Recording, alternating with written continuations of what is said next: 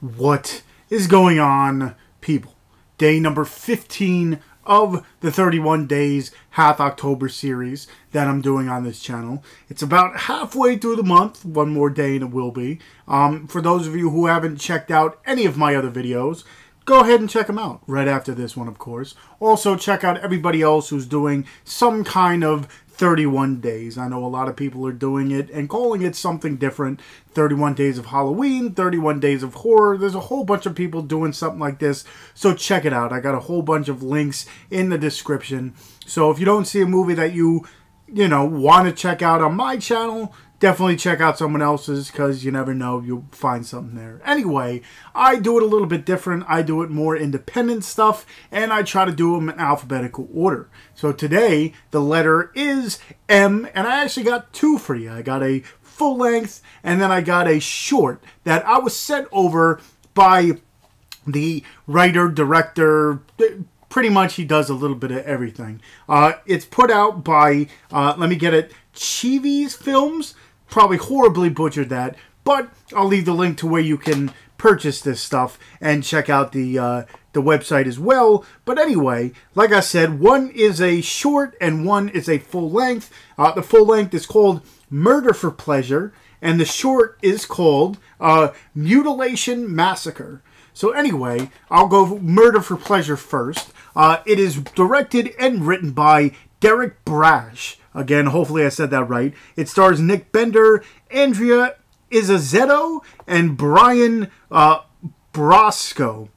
Probably butchered those names, uh, among many others. So pretty much what this is, it's, I don't want to call him a vigilante killer, but you can say the main character is a vigilante killer. Anyway, you find out that the main character, he might have had a well, the main character's name is Victor, and you might say that he had a pretty pretty shitty thing happen to him in his childhood, which might have knocked a few screws loose in his head, and pretty much what he does is you know, he lives a normal life. He, you know, works and talks to people and stuff. Well, let's just say by the end of the night, he pretty much ends up, you know, taking care of certain people. And these certain people are more on the evil side. He finds and, and kind of checks people out and figures out that they have something going on that maybe not a lot of people know.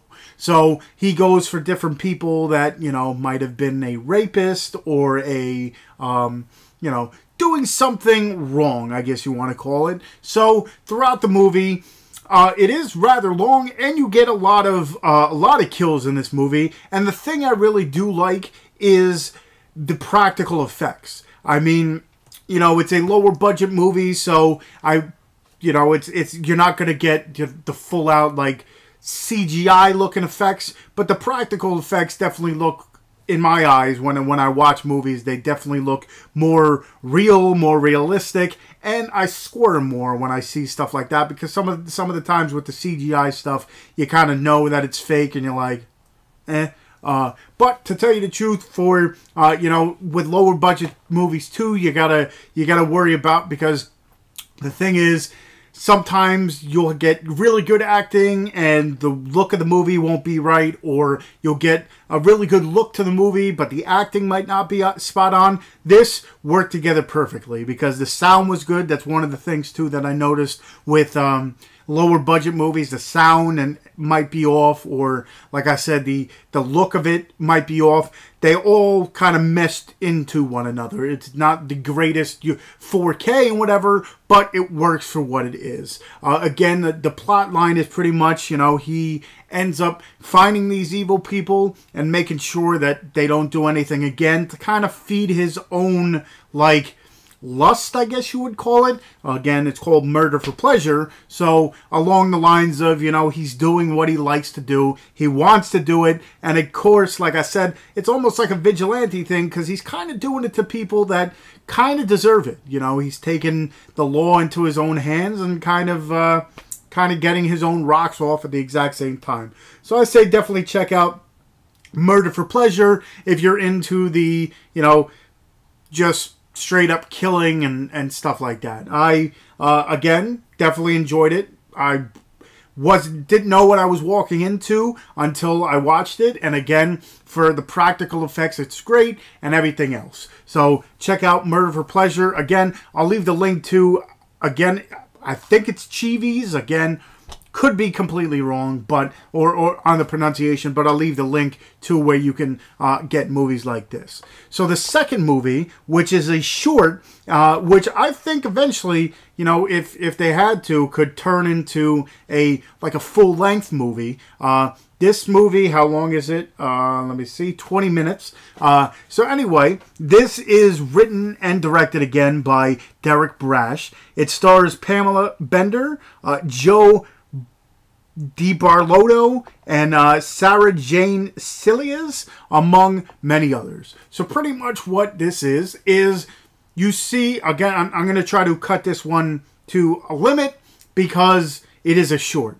You know, with, with the full lengths, I can go a little bit more into depth.